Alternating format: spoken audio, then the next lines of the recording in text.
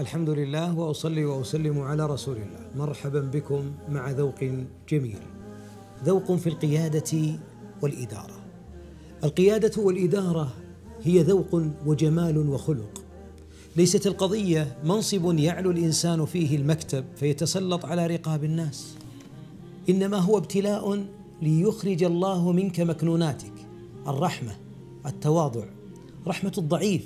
إعطاء كل ذي حق حقه فإن القيادة والإدارة ذوق وهناك مدير وهناك قائد.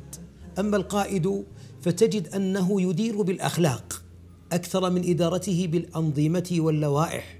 وليس معنى ذلك أن يظلم الناس أو أن يكون هو النظام لكن نحن في دين الإسلام نحن لدينا جمع من القيم جمع من الأخلاق باقات من الذوق إذا لم تجمل إدارتنا في حياتنا للناس وإلا نكون ممن يدعى عليه ويتسلط على رقاب الناس. فمن ذوق القيادة أن تعلم أن القيادة في الأصل والإدارة إدارتك للناس أصلها ابتلاء وهي في الأصل أخلاق في الأصل مسؤولية في الأصل أمانة. ولذلك أقول للقائد إن من الذوق الجميل لك أن ينتصر الضعيف عندك. ليس القائد الهمام الذي يعجز الضعيف أن يصل إلى مكتبه لأن بينه وبين الناس حجاب. القائد صاحب الذوق والأمانة هو الذي أشرعت أبوابه للضعيف قبل القوي. القوي يستطيع أن يأخذ حقه منك. رضيت أم لم ترضى؟ يستطيع أن تذهب وإياه للمحاكم وللإدارات القانونية. أما ذاك الذي سيقول حسبي الله لأنه ضعيف فإن هذا هو الخطورة كل الخطورة. يوم أن يظلم. من الذوق في في الإدارة التواضع أن تكون متواضعا. تصلي مع الناس. تكون مع الناس في مجالسهم. تقبل دعوة الضعيف منهم والقوي المرتفع والنازل في المهنة الذي الذي ارتفعت درجاته وسلم مرتبه والتي قلت.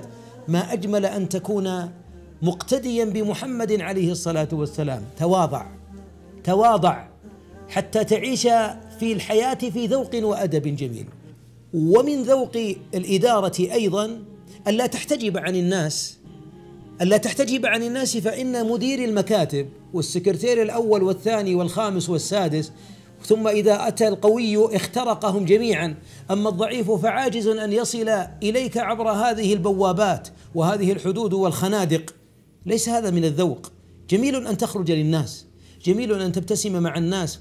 جميل أن تعطي الحقوق المالية لأهلها لأن بعض المديرين يصرف المخصصات المالية وخارج الدوام والسيارات الحكومية والمؤسسات وكذلك يصدر الانتدابات. يعطيها الناس كأنما يقرضهم أو كأنما يمن عليهم. نعم ذوق الإدارة أن يرى الناس أخلاقك عند الضغط.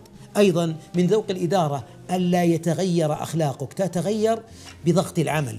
بعضهم يقول الضغط من الذي أكرهك أن تكون مديرا؟ إذا لم تستطع تحمل الناس وتدير الناس بأخلاق العظماء وإلا ترجل عن مكانك اترك المكان لغيرك. فإن من سمات القائد الهمام هو الذي لا تتغير أخلاقه ولو مع الضغوط. ويستطيع الضعيف أن يصل إليه ولا يجرؤ الظالم أن يقف بين يديه لأنه سينصر المظلوم. ذوق جميل في الحياة. أدعوك أيها القائد أن تكون أن تكون رحيما أن تكون متواضعا حتى تتجمل حياتك بذلك. شكر الله لكم وأعانك الله أيها المدير وأنت أيتها المديرة وأنت أيها القائد وأنت أيتها القائدة. إن من في من يعمل حولكم إنما هم في ذممكم وقد دعا الحبيب على أن من استرعاه الله رعية فضيعها وغشها أنه لا يجد رائحة الجنة.